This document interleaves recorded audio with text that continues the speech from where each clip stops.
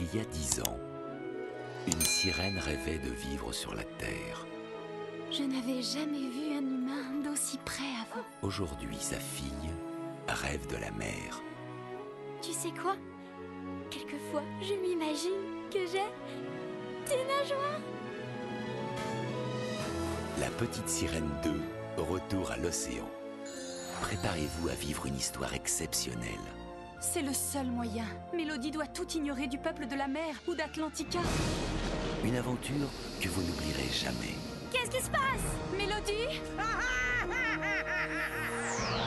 Walt Disney Pictures est fier de vous présenter son nouveau grand film d'animation. Ce collier signifie quelque chose. Si personne ne veut me le dire, je vais le découvrir moi-même. La petite sirène 2, retour à l'océan. Uniquement en cassette vidéo et DVD.